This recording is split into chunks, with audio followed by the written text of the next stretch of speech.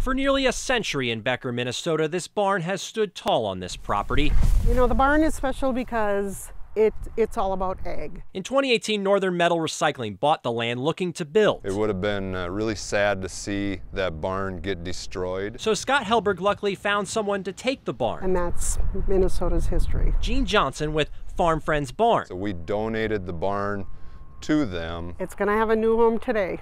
She just had to find a way to move it nearly two and a half miles. So today was moving day. There it goes. How exciting.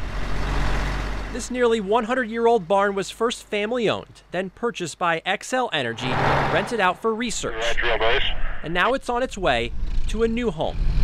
Through fields, onto Highway 10 with spectators taking in this moment. It's like one of the coolest things ever. Yeah, especially across a railroad track and a highway and everything like that.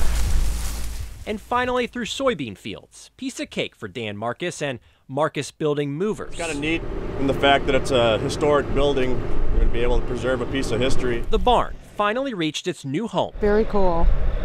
All in one piece. Gene's project finally coming to fruition, teaching kids about agriculture. Remember what agriculture is all about. All it took was this historic piece and a whole lot of teamwork. All involved in this project, and we all did it. And Gene says the plan is to build a new structure to complement this old barn, hopefully completed by spring of 2021. In Becker, Alex Hagan, KARE 11 News.